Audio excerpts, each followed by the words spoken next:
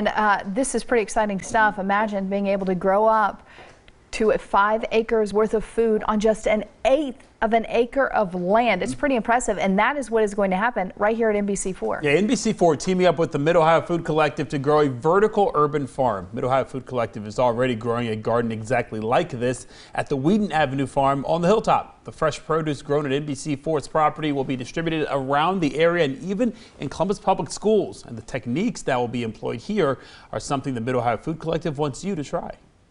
A lot more food on, on much smaller spaces than what we're typically used to, and, and putting it into a platform that is public friendly, information that's digestible and understandable, um, that we can take this information and share it with the community members, uh, other people interested in this field, um, and just take this information and share it with them. And the groundbreaking on the farm is today, and the first plants will start growing by mid July. You can follow the farm's progress at NBC4i.com. Pretty exciting stuff.